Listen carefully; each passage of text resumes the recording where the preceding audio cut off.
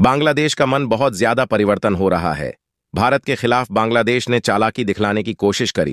एक तरफ़ चाइना की नेवी पहुँची चितकाम पोर्ट और दूसरी तरफ़ होने लगे हैं, धमाके जानेंगे क्या चल रहा है।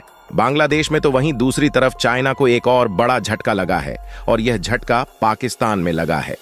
आईएमएफ के ज़रिए जानेंगे, भारत के लिए बड़ी खुशखबरी क्या है, इसीलिए वीडियो को अंत तक ज़रूर देखें ताकि आपको पूर्ण जानकारी मिल सके। दोस्तों पाकिस्तान एक ऐसे चक्रव्यूह में फंस गया है, जिस चक्रव्यूह से निकलना इतना आसान नहीं है। हालाँकि इसकी वजह भी खुद पाकिस्तान है। पहले क्या हुआ करता था?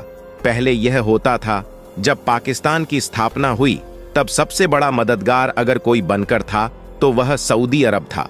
सऊदी अरब ने सबसे पहले रिकॉग्नाइज किया, और सऊदी अरब के राजा किंग ने उस समय बहुत मदद करी। पाकिस्तान की इतनी मदद कि जब भी पैसे कम पड़ते थे पाकिस्तान दौड़ जाता था। सऊदी और सऊदी उन्हें भरपूर मदद देता था। कभी खाली हाथ लौटने नहीं देता था, लेकिन अब सीन बदल गया। स्क्रीन पर एक आर्टिकल देख रहे हैं। एमबीएस के आते ही वो वाला रवैया खत्म हो गया और एमबीएस ने कहा कि देखो, अब वो इजली जो मिल जाता था पैसा, वो पैसा आराम से नहीं मिलने वाला है। है। हालाँकि सऊदी ने क्यों बदला पथरा इसलिए बदला, क्योंकि उन्हें भी समझ में आ गया कि खुद के रोटी दाल में आफत आ जाएगी। जब तेल का खेल बंद होगा तो दूर का सोचकर अब इन्होंने भी धीरे धीरे किनारा करना शुरू कर दिया। और यह पाकिस्तान के लिए सबसे बड़ा झटका था। पाकिस्तान को आदत लग गई लोन लेने की। पाकिस्तान ने चाइना से भी खूब लोन लिया। और अब स्थिति यह हो गई है कि चाइना की इकोनॉमी खुद खस्ता हाल हो रही है। चाइना इस वक्त बहुत ज़्यादा पैसे से किसी को मदद करने के लिए तैयार नहीं है। चाइना को सीपैक के ज़रिए कोई फ़ायदा भी नहीं हो रहा है।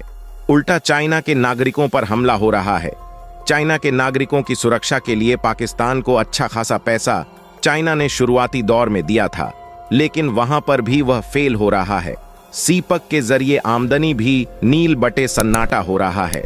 तो ऐसे में चाइना ने ना तो लोन नया देने की बात करी और ना ही रिस्ट्रक्चर करने की बात करी। दोनों ही चीज़ में यहाँ फंसा। अब इनके पास एक ही उम्मीद थी और वो थी आईएमएफ आईएमएफ ने शुरुआती दौर में कहा, ठीक है, हम बिलियन डॉलर का आपको लोन देंगे, आपको कुछ नियम का पालन करना होगा। पाकिस्तान ने कहा, ठीक है जी, हम पालन कर लेंगे, पाँच लाख नौकरियों को खत्म कर दिया। इसके अलावे छह मिनिस्ट्री को भी खत्म करने की बात मान ली। स्क्रीन पर आप आर्टिकल देख सकते हैं। ये सब कुछ मानने के बाद भी अब आईएमएफ से मिलने वाला सात बिलियन डॉलर लटक गया है। क्यों लटक गया है? क्योंकि यहाँ पर आईएमएफ ने एक बहुत बड़ी शर्त रख दी है। दरअसल स्क्रीन पर एक मैप देख रहे हैं। इसमें भारत का वो हिस्सा भी है पीओके वाला भी है जो इन्होंने कब्जा रखा है। यहाँ पर इन्होंने स्पेशल इकोनॉमिक जोन बनाया है। भारत के अंदर भी स्पेशल इकोनॉमिक जोन बनाए गए थे। भारत ने अपने अर्थव्यवस्था को सुचारू करने के लिए कुछ खास खास इलाके बनाए। और उन इलाकों में जहाँ कंपनियाँ नहीं जाया करती थीं, कंपनियों को भेजने के लिए इन्होंने क्या कहा कि ठीक है जी आप यहाँ कंपनी बनाओ। हम आपको टैक्स में छूट दे देंगे। अगर आपकी कंपनी यहाँ पर स्पेशल इकोनॉमिक जोन में होगी तो और ऐसे में भारत की इकोनॉमी के लिए मदद मिली। पाकिस्तान ने यही सोचकर भारत की तरह अपने यहाँ स्पेशल इकोनॉमिक जोन बनाए। लेकिन इनमें से नौ जोन ऐसे हैं जहाँ पर चाइना का कब्जा है। चाइना की कंपनियों का कब्जा है, सीपक का कब्जा है। यानी कि सारा फ़ायदा यहाँ उठाकर कौन ले जा रहा है? यहाँ उठाकर लेकर जा रहा है। चाइना सिर्फ़ इतना ही नहीं। अगर टेक्सटाइल इंडस्ट्री की बात करें तो पाकिस्तान के अंदर चाइना की सौ कंपनियाँ अभी यहाँ पाकिस्तान के अंदर निवेश कर रही हैं, अपना कंपनी खोल रही हैं। अब इस चीज़ को लेकर आईएमएफ ने कहा है कि देखिए, आप ऐसा नहीं कर सकते हैं। अगर पाकिस्तान को कहा है कि यह सारा जो आपने स्पेशल फंडिंग देना शुरू कर दिया है सब्सिडी देना शुरू कर दिया है टैक्स में छूट देना शुरू कर दिया, ये सारा बंद करो, इस सारी चीज़ों को बंद करो। जो चाइना के लिए एक बड़ा झटका माना जा रहा है। भारत के लिए अच्छी बात है। सीपक कमज़ोर होगा और सीपक के साथ साथ चाइना की पकड़ भी इस इलाके में जो काफ़ी हद तक कमज़ोर हो चुकी है, और भी ज़्यादा कमज़ोर होगा। खैर, जहाँ भारत के एक तरफ़ यह सब कुछ कुछ हो रहा है, वहीं दूसरी तरफ़ बात करें। भारत के दूसरी तरफ़ बांग्लादेश बांग्लादेश और भारत की स्थिति अभी एक ऐसे रिश्ते के तरफ़ बढ़ गई है, जो काफ़ी नाजुक मोड में है। भारत ने ऑफिशियल इस बात को कहा कि बांग्लादेश में हिंदुओं के साथ, दुर्गा पूजा के साथ जो हो रहा है, वह गलत है। ऐसा होना नहीं चाहिए। हालाँकि इसका असर भी देखने को मिला।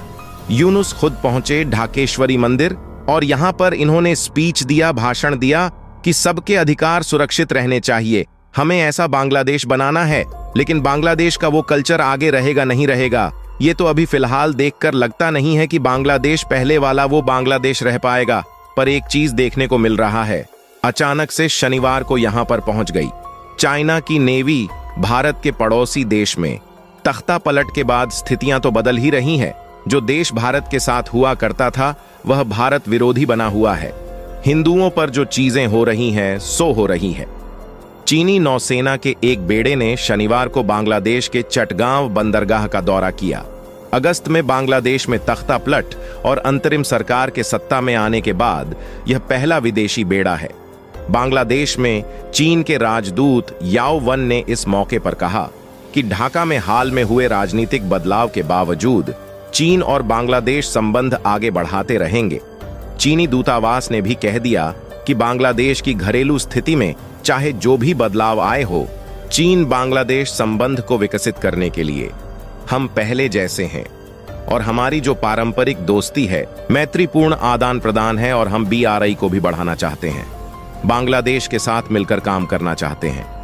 इससे पहले ओवेन और चीनी नेवी फ्लीट के कमांडर क्यू जिगवा और जिंग गेन सान ने चट्टोग्राम, बांग्लादेश नौसेना बेड़े के commander rear admiral Mohammad Moinul Hasan और रियर एडमिरल एस एम मोनी रजमाना कात और कहा कि हम लोग समुद्री तौर पर एक दूसरे को मज़बूत करने का काम करेंगे।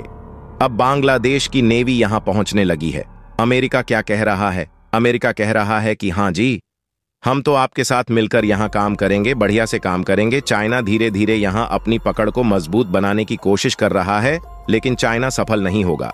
आपको बता दूँ, जिस इलाके पर चट्टोग्राम में इसके पहुँचे हैं सीप, सबसे पहली बात है चट्टोग्राम जो पोर्ट है, उसका निर्माण में चाइना का हाथ रहा है। और कहा तो ये भी गया था कि चाइना के सब मरीन्स वगैरह शेख हसीना के रहते हुए यहाँ पहुँचने लगे थे। तो अभी नेवी पहुँची है तो कोई बहुत बड़ी बात नहीं है, लेकिन अभी चाइना के लिए मुश्किलें ज़्यादा हैं इस इलाके में। चट्टोग्राम के आसपास में हिल ट्रैक्ट एरिया में पहले से अल्पसंख्यक समुदाय विरोध में है। सरकार और अल्पसंख्यक समुदाय के बीच में यहाँ टेंशन जारी है इसके अलावे यहाँ पर पिछले कुछ दिनों से एक बड़ी ही अजीब घटना हो रही है। बार बार यहाँ पर देखने को मिल रहा है। तबाह हो रही हैं। तेल और एलएनजी के टैंकर। देखिए, यहाँ पर एक बार फिर फिर से एक एलपीजी वेसल्स में आग लगी है। 31 लोगों को बचाया गया है और यह समस्या इस वक्त बुरी तरीके से बांग्लादेश के इस पोर्ट में हो रहा है। बीएलपीजी सोफिया। इस वेसल्स में आग लग गया, जिसके बाद एक बड़ा धमाका हुआ। कहा जा रहा है, चिदगम पोर्ट में करीब रात के एक बजे यह चीज़ हुई है। वैसे भारत को तैयार रहना होगा। भारत को अब दो नहीं तीन तीन फ्रंट के लिए तैयार रहना होगा। वैसे आपको क्या लगता है? इन सब मामले में आपकी क्या राय है? कमेंट कर ज़रूर बताएँ तो मिलते हैं आपको नेक्स्ट वीडियो में, तब तक के लिए नमस्कार।